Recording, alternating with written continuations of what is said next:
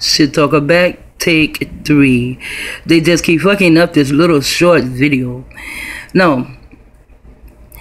This guy named Jimbo, he says he's a target, but he only has like three seconds, four seconds, 23 seconds of video, you know?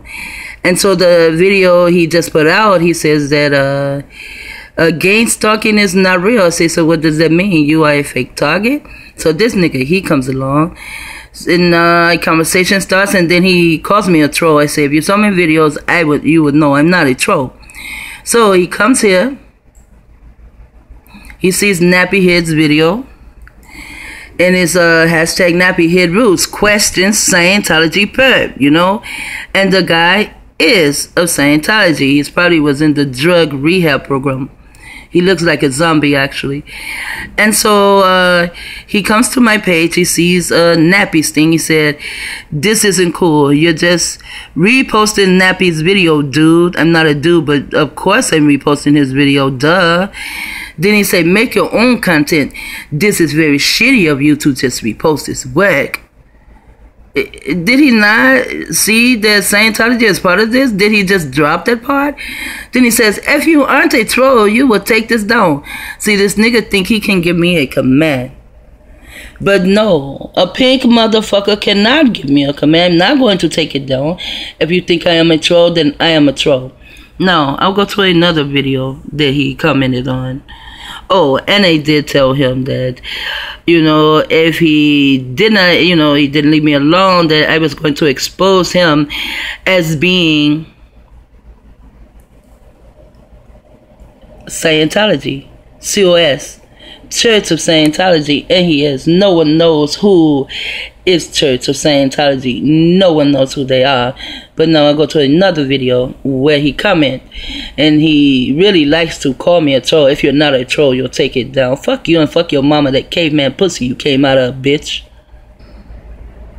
So here's the other vid he went to. I have to open it so you can actually see what the fuck he's saying.